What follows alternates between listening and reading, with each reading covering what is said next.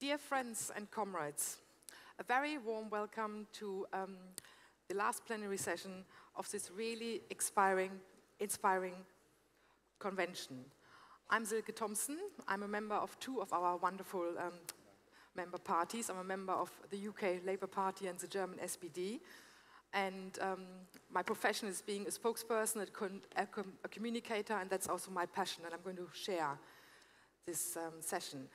Um, thank you very much for spending your afternoon in workshops, and we have, you have all come up with brilliant ideas around active democracy. And thank you very much for your great feedback from those workshops. We have a really interesting, inspiring panel now, and they're here to discuss the findings um, of those workshops. So without further ado, let me introduce to my left, it's, um, I hope I get it right now, Carlos Paredes, is that right? From the Spanish um, Real, Real Democracy Movement. Thank you, Carlos. Um, the Real Democracy Movement in Spain represents about 200 grassroots organizations. Um, and we have Job Cohen from the Partij van de Arbeid from the Netherlands. Um, Job also held several very high-profile ministerial posts and is a former mayor of Amsterdam, if I'm not mistaken. Thank you for coming over.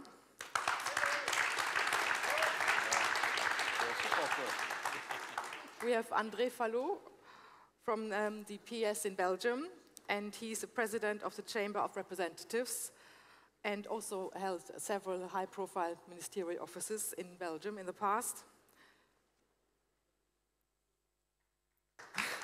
Thank you. And we also have Antonio José Seguro. Um, he's the leader of the PS in Portugal and also a former minister.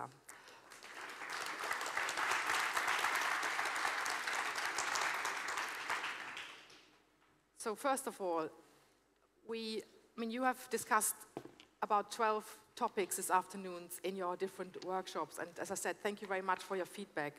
One really interesting topic um, that I think we, we, should pick up first, because we have an alarming amount of party leaders here, is, um, is party reform.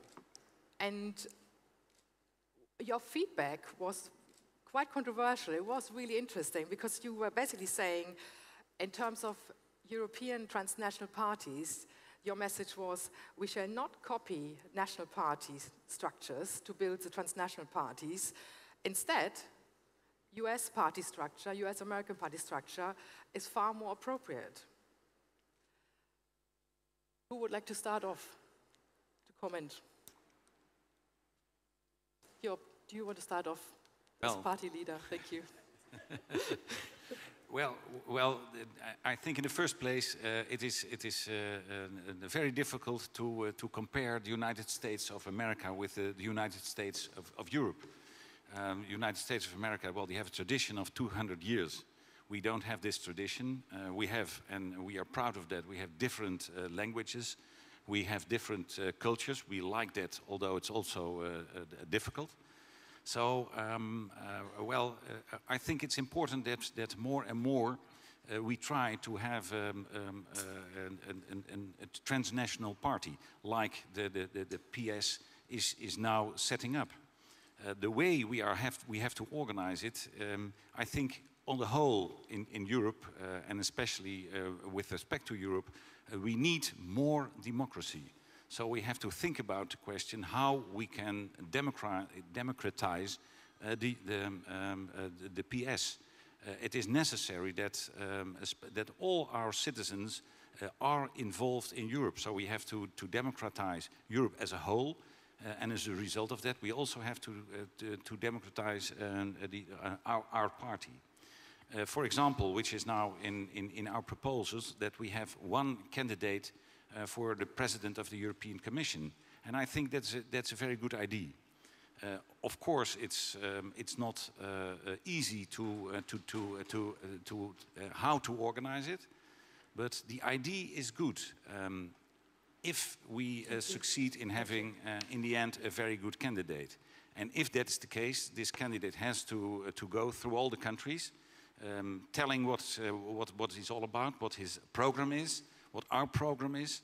And if we are going to do that, um, well, I think uh, that is a good idea. And well, then you can say, well, uh, in, in, all the countries, it's only one candidate and he is uh, Portuguese or he is uh, German or he is French.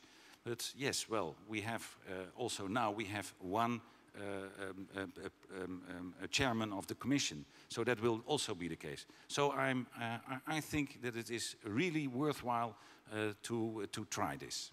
Let me stop there. André, thank you very much. André, how, Bien, bonsoir. How are, you, how are you going to sell it in the next European elections if you suddenly have, let's say, a German or a Swedish name for this office and people turn around to you during the campaign and say, who?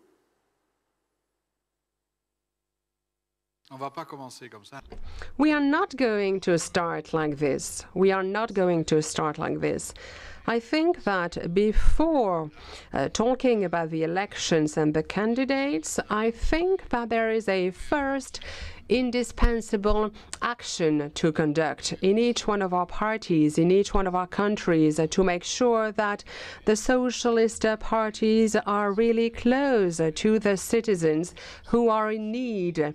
We really need to leave our structures. We lead, need to leave also our uh, debates on institutions.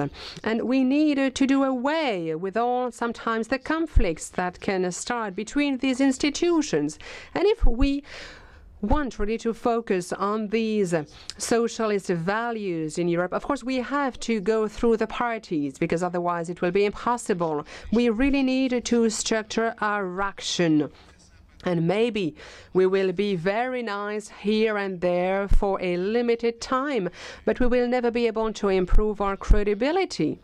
So I really believe that the transformation of Europe and the transformation of our very technical, bureaucratic institutions that are really moving away from the population, we should be able to transform them through a strong party of European socialists. And it will only be strong providing or provided that uh, the various activists are available also in each country. They should rely on common values that are sometimes shared with the cooperatives, with the trade unions, with the various organizations that can really transform things into something concrete. People today, the citizens, are really expecting concrete answers. And the key value should be all over Europe. This is really what is uniting us the solidarity and the transformation of the society based on solidarity. And uh, should we be able to use this solidarity value, whether we are in the government or in the opposition, it will anyway be very difficult. But I believe that our attitude vis a vis these values should not change according to whether we are in the government or in the opposition. This is really what should lead our action. We need to find a common denominator to be close, to be available for citizens and to work upon a strong European party of socialists. And then maybe we'll be able to speak about organizing elections. And then, only then, we'll try to identify the best candidate. But first, we need to win the elections. And in order to do so, we need strong national parties really working upon these values. So before giving one or two names, you know, whether a socialist is Irish, Spanish, Portuguese, whatever, whatever his or her color, you know, I think that the bottom line is for this candidate to share our basic values. You know, I am an internationalist person. Andres, thank you very much. Um, you talked about talked a lot about the importance of activists with you know kind of a bottom-up approach. So I want to pass this question on to um, Carlos. Um, how do which role do you think transnational European parties can play, and would a US system be really appropriate? Eh, bueno, First of all, my name is Carlos Paredes. Firstly, we think we should uh, improve uh, transparency in management. Uh, citizens need to, to, know where the money comes in, and where it goes into the parties if you want to be credible. Secondly, there must be a rotation in the positions. In the case of Spain, we see a paradigm, and it's a perfect example we had for these uh, elections uh, Rubalcaba and Rajoy for the Socialist and uh, Partido Popular. They've been in political positions for 20 years. So if uh, you want to be near the citizens, you have to be trained by the citizens. And what we see in the parties is oligarchs. And thirdly, you have to give uh, more importance uh, uh, to the activists. you need to have strong activists able to decide. Uh, you can you can't go only to the activists when you need a demonstration. Uh, the activists are the ones that need to decide.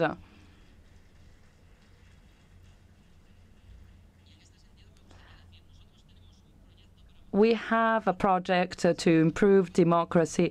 It's called Democracy 4.0 or Liquid Democracy. I'm not going to go into the details. Uh, that project exists. It's a project to improve the democracy in big organizations, and you could apply it in your own party. Who knows? Thank you. Carlos, thank you very much. May I now pass over to Antonio, please. Thank you very much. Thank you for inviting me. Firstly, I think that uh, we absolutely need uh, transparency. I agree with Carlos. In the Socialist Party in Portugal, we have uh, adopted an ethic codes and uh, we put all the revenue declarations, uh, the interest declarations of uh, uh, the managers of the party. And that shows that we trust people and shows transparency. In December, we will put forward a financing uh, proposal for political parties and for um, election campaigns, uh, demanding transparency for the political financing activities. I do agree with the colleagues when they say that we need a bigger opening, that we need to see how those parties work. Currently, we have a debate within the party with the activists, uh, with the elite, so that uh, we change uh, the functioning of the party and so that we create the good conditions to accept left wing people, activists that uh, do not want to occupy positions but that want to participate in the Socialist Party. So I'm talking about principles but also about about action. We need to implement those actions. Fourthly, I agree with the decision of the PES to put forward a unique candidate for the Commission. But what does that mean? Well, it means to agree with one political program and with one person. If it's only with one person, it's uh, too little. I would like to have a political program with very concrete answers uh, to the crisis.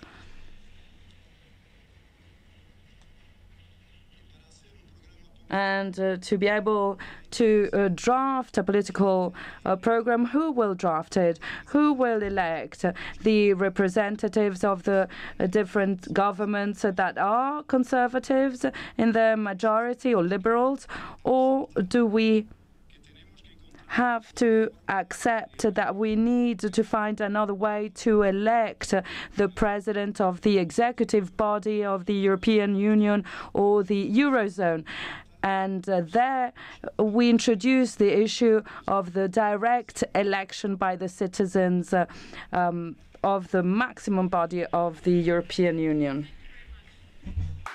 Carlos, can I get back to you, please? We had two working groups this afternoon. Looking, one looked at true democracy in Europe, and one looked at new movements. And there was one clear message coming over, basically saying we need to listen to the messages from civic movements because they are at the heart of the core values. So how can we ensure, as political parties, that we need to listen to the messages from civic movements?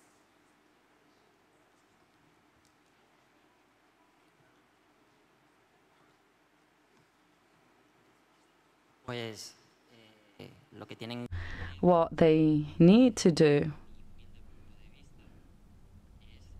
from my point of view, is to participate with the civil society. The basic issue is that uh, when uh, people get to high positions, uh, they forget uh, uh, the citizens. And they go to another world the world of the big managers, the world of the IMF, of uh, a stock exchange, of sovereign debt, and they forget about people.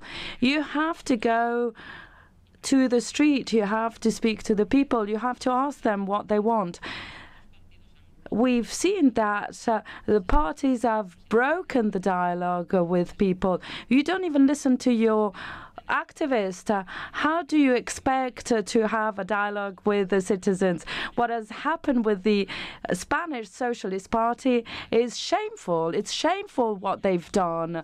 A party that calls himself a socialist has applied one after another all the cut measures decided by Europe. They told us that it was good for us. This is the democracy that you're defending. This is an elite democracy, uh, democracy that decides for the others. And when we go to the streets, we say, hey, I am a citizen. You're talking about my pension, about my house, about my family, about my loved ones. And uh, either you condemn them or you try to use us to get to the power. It's a shame.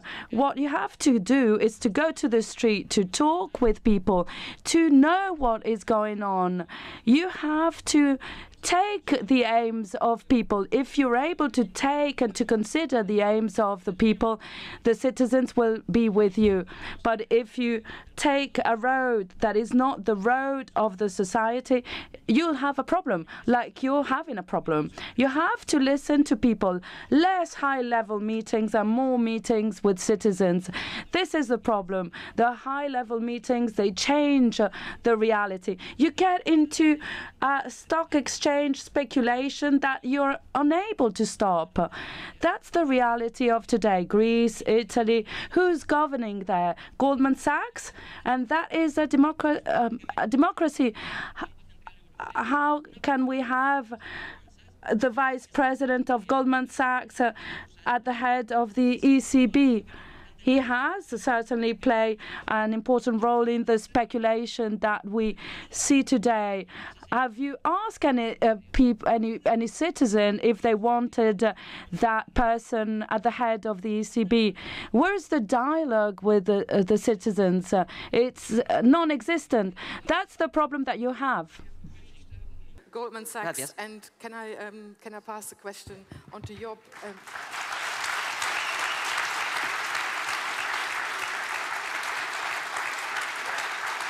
C'est toi ou c'est moi Well, Job, and then, and then you. Yeah. well,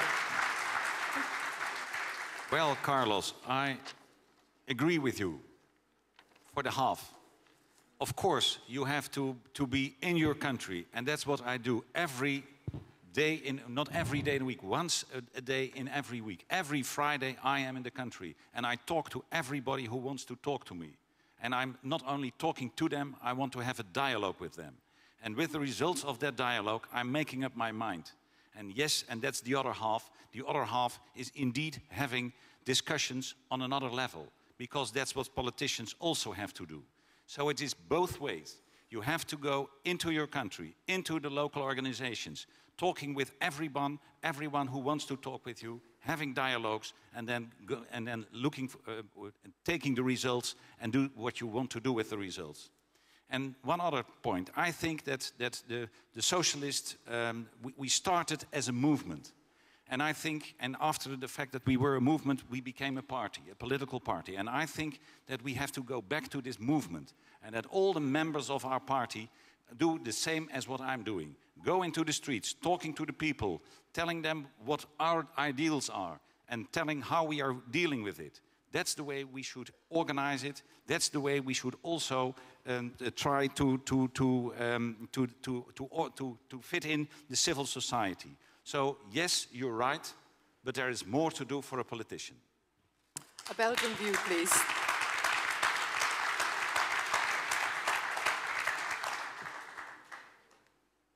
Tout à fait d'accord. I fully agree with you, but I don't think that the people in, in the room should be explained about that. No, uh, I'm, I'm sure that we are all convinced of what you said. And then we also have to be cautious because we have to focus on the right target. And here I'm talking as a socialist uh, at the head of the Chamber of Representatives of a democratic country. So we should not miss our point, miss our target. And then the situation can be different from one country to another. A few minutes ago, we were referring to transparency, to uh, the uh, monitoring of income.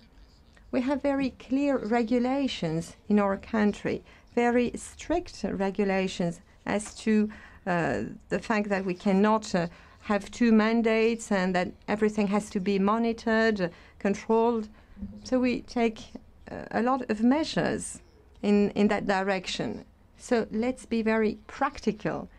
Let's compare what we have in our different countries and let's take for the socialist family what could be the most interesting part to, to achieve this high level of democracy. We should not reinvent the wheel.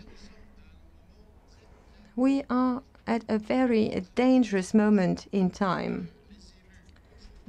Today, elected people, socialist elected people, are trapped between two movements, one coming from uh, upstairs, um, top-down uh, approach that you can find in, in Greece, in Portugal, in Italy, with all those bankers uh, taking the power and uh, uh, giving instructions to the government, saying that the uh, politics are not in charge and that the banking sector is in charge. This is a major danger.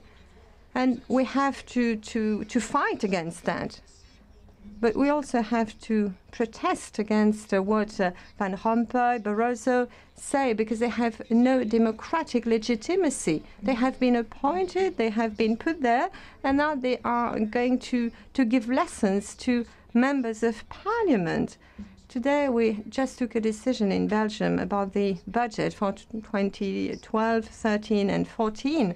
But I would not accept, as a socialist person, to have to come back to my budget just because of uh, criteria that have been defined by the banks, by the banking sector.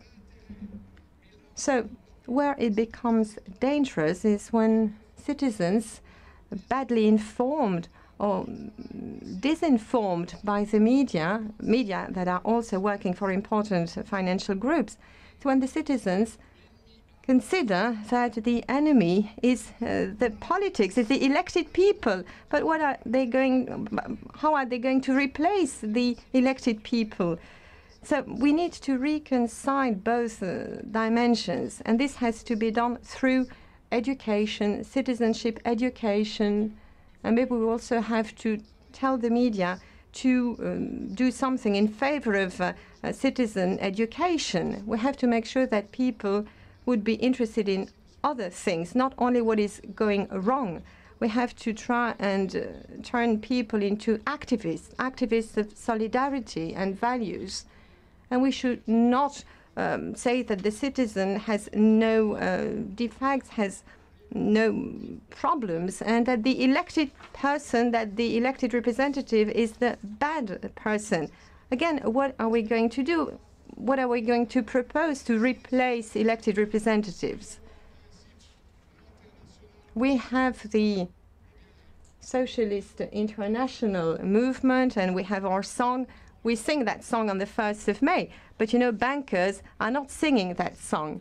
But uh, we have to continue on that road. We have really to show solidarity. Antonio, do you want to respond and especially also um, touch again on the issue of how can we incorporate the civic movements? Para ver cómo podemos incorporar también los movimientos. Uh, I think there are two questions in our discussion. Firstly, who decides with uh, what uh, legitimacy and uh, before whom? When the European institutions are kidnapped by Merkel and uh, when they adopt positions um, that affect Portugal or Spain, how can I accept the political options of uh, Ms. Merkel?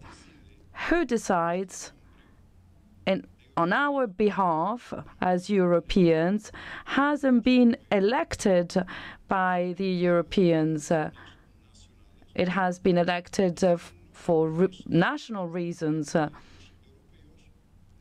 And if it hasn't been elected by the Europeans, we haven't got the possibility of uh, doing what is normal in democracy to vote in favor or to vote against.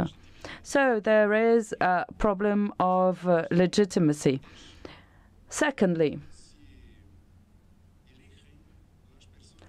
how do you elect those that uh, are in the ECB. Who took the decision?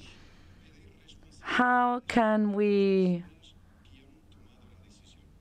ask those who have taken the decision to be accountable.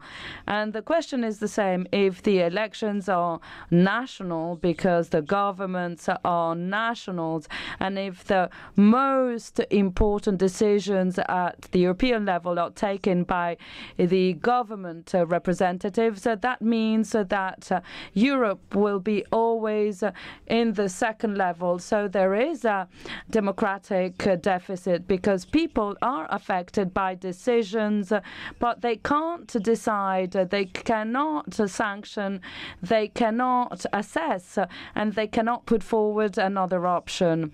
And I come back to the need for the socialists to have a political program, a clear political program. And here I come back to the issue of a political option. We have a crisis. What is the current answer to the crisis? Austerity austerity. And if it doesn't work, more austerity.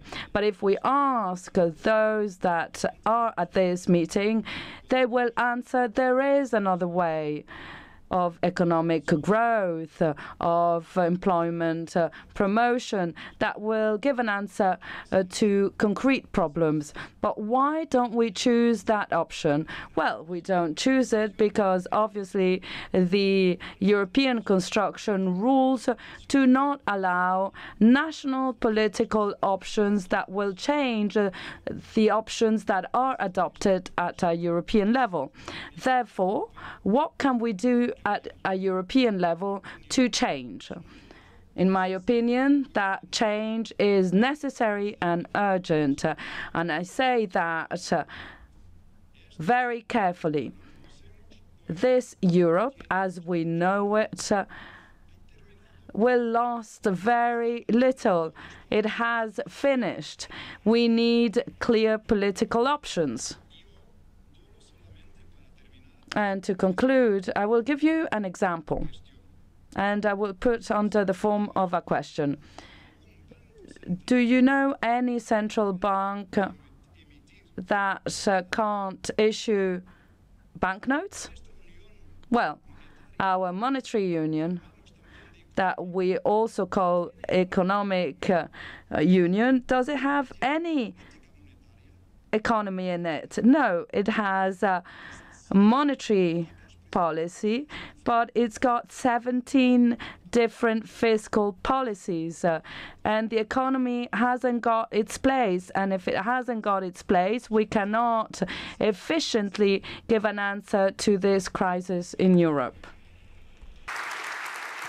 While we, while we just, just while we are talking, ajouter un élément. Maybe we should add one thing which makes Belgium different from other countries apart from Luxembourg. Voting in our country is compulsory.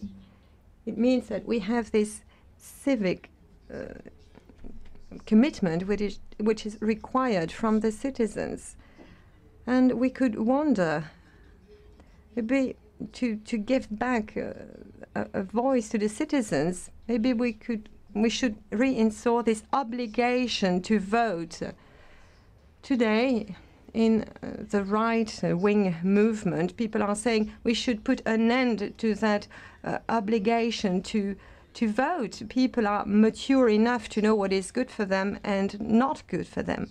But you know, it's thanks to this civil movement that uh, um, other that, that a few governments failed, and it's because of them that Papandreou and other failed.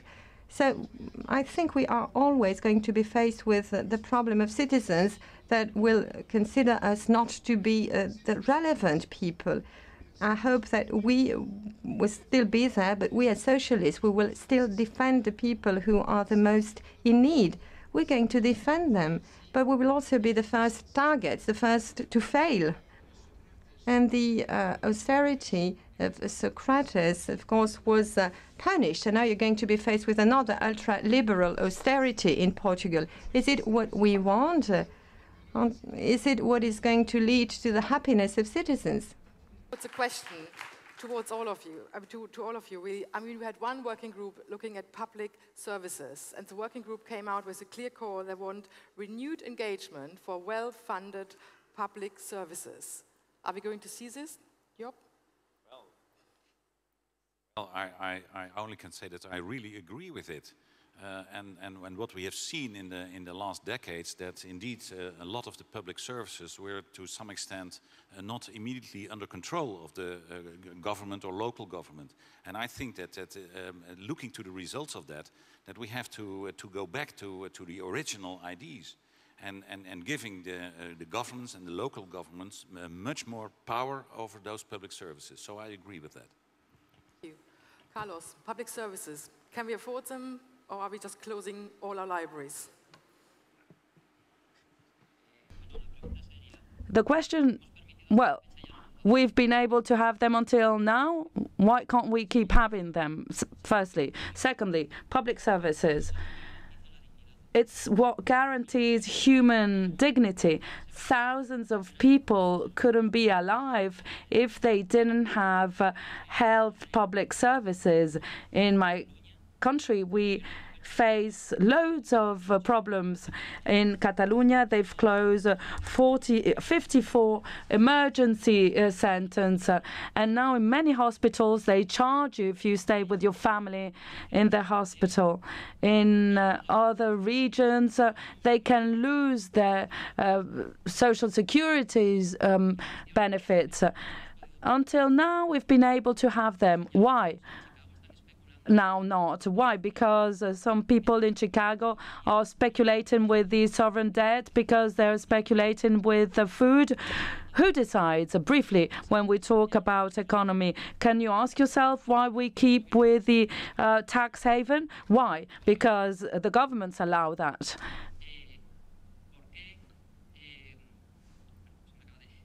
I forgot what I was going to say. Why we keep tax haven and why the, we don't have a tax uh, um, unity in Europe. Uh, why the Netherlands um, has got uh, uh, less taxes than in Spain. Uh, what we do is to globalize what uh, we want to globalize. Why don't we globalize uh, the health uh, services or rights? Or we have to answer those questions if we start giving answers to those questions, you'll find why the public services aren't uh, uh, profitable. The situation in Greece where are those that signed the several agreements uh, that uh, led Greece uh, to a disaster? Why, when uh, people are suffering, why? Whilst those are, are suffering, the people who signed those agreements haven't been sanctioned. That is shameful. We don't. We're not living. Uh, um, changing period. Uh, it's very, very dramatic. Thank you. Antonio, is there a realistic view funded public services?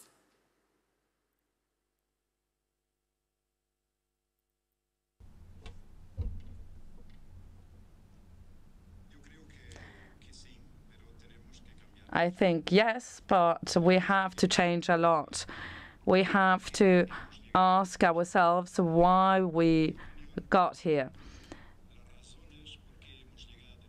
The reasons why we got here cannot be the solution for the new paradigm for uh, get out of this crisis.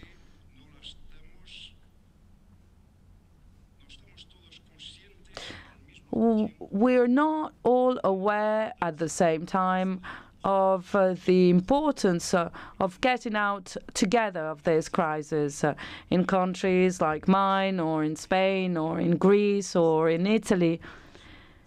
We ask uh, superhuman sacrifices uh, um, and there are other countries in Europe that are not feeling the crisis. And uh, we should understand what is the problem that we have in our family in Europe.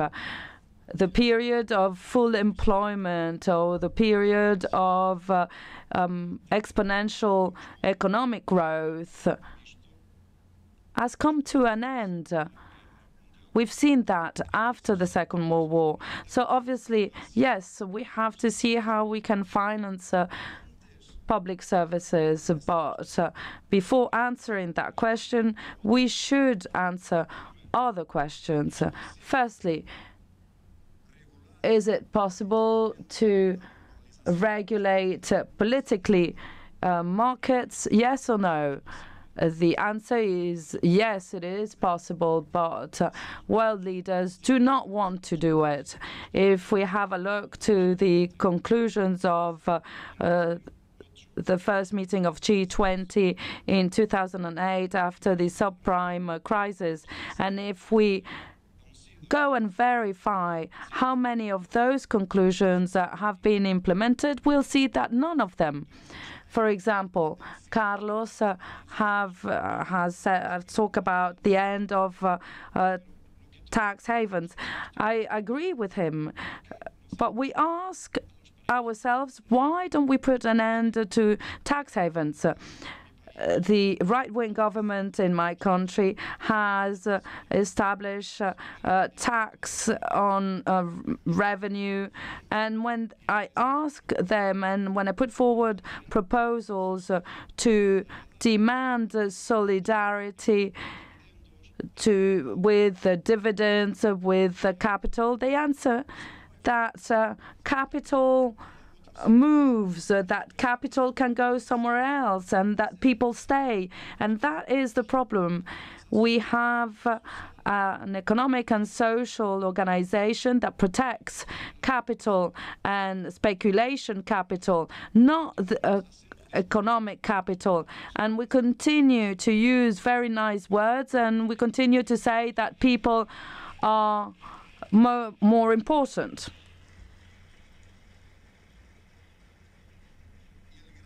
We need to change, and uh, the big challenge for us is not only to change the words, uh, but to change in our action. And that is uh, the main issue. We only govern in three countries of the European Union. Why only in three? Why people in a moment of crisis, of unemployment, uh, why do they rather vote to the right, uh, to the conservatives? Uh, why? Well, it's because we cannot accept uh, that we are something when we are in the opposition and something very different when we are in power. There is a big difference.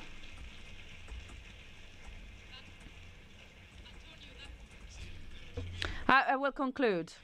And uh, what I would like to add is that that difference doesn't take place in one government.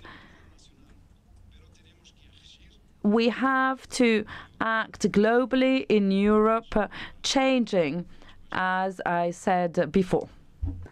Thank you. That really brings me to one of the other issues working groups looked at this afternoon. It's basically mobilizing social democracy in Europe. Why are we only in power in very few countries? And they come up with the thesis that we need stronger links between our think tanks, our new movements, and political parties. So we need basically new ideas how to address problems in our nation states, but also problems within the European Union. How would we be able to, to do it, to, to get you know, the civic movement or think tanks, to, to get them to put their ideas to politicians and political parties? Job, do you want to?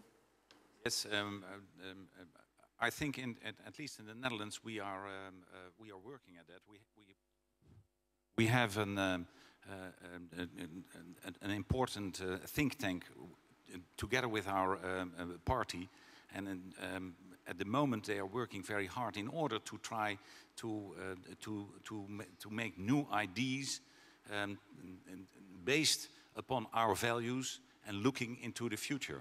And I think that's very important. And uh, at the moment, there is a, a, big discussion in our country organized by uh, this uh, think tank. Uh, and I'm looking forward to the results of it. Uh, we have a lot of discussions in the country together with a lot of people and, and, and, the most important elements are that we are looking once again to, this, to the security of people, the security uh, which we need, uh, security for jobs, security for pensions, and those are the most important elements uh, which has, has to be done uh, in, in the years to come. So I think that those think tanks, we, we really need them. Um, um, they are also not only uh, within one country, but we also have um, together with other countries, they, they find each other. And I, am looking forward to the results of it. And I think that we are working hard on it. And, uh, well, I'm looking forward to that. Thank you. Andre, could you also say something maybe about European institutions?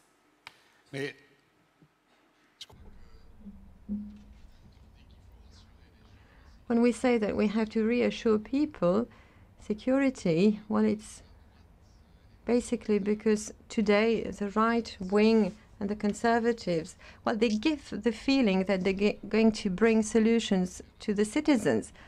But this is not true. We also have to prove, we also have to show that we can bring solutions to the people. We have to move from nice words to practical actions, and we have to do so as quickly as possible.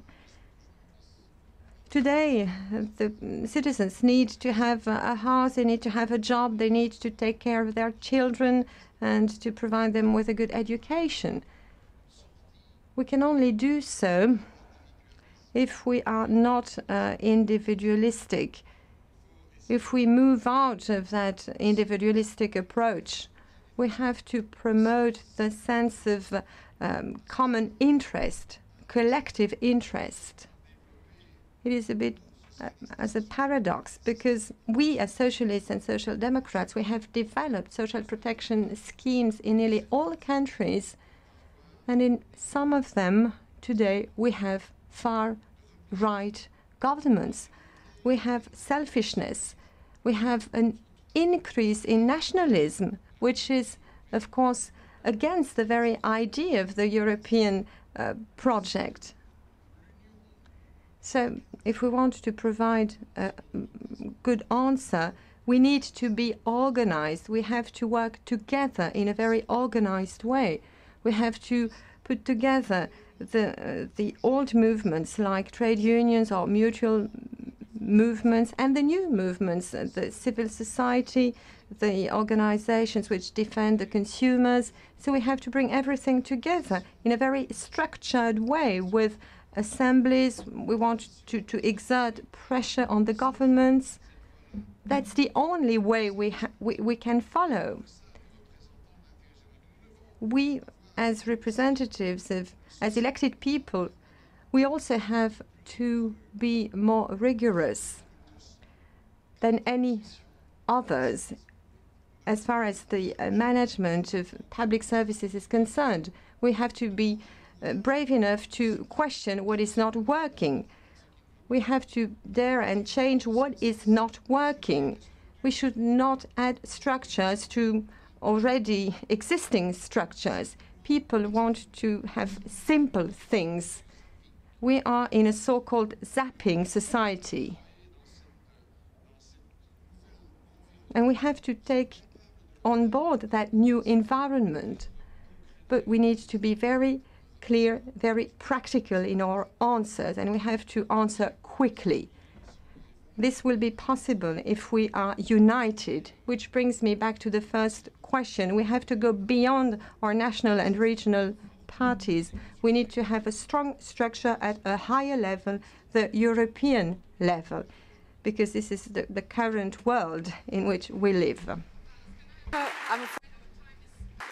I'm surely but slowly run, running out. I can I have a quick answer? How do you think, sí. from your perspective, Miren. would you be able to, to get your ideas into political parties, into the political process? Firstly, political parties need to establish a dialogue with citizens. If there isn't such a dialogue, the system won't work. Secondly, political parties can consult the issues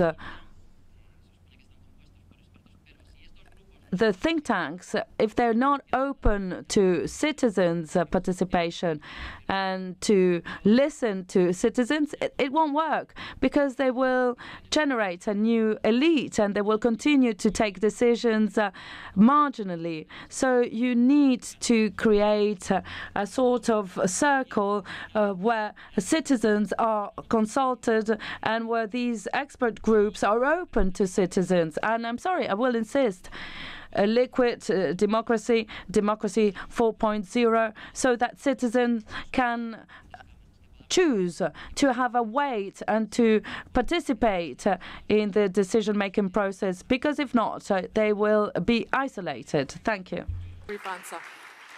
Antonio, how can we mobilize social democracy? How can we infuse new, new ideas? What's the best way forward?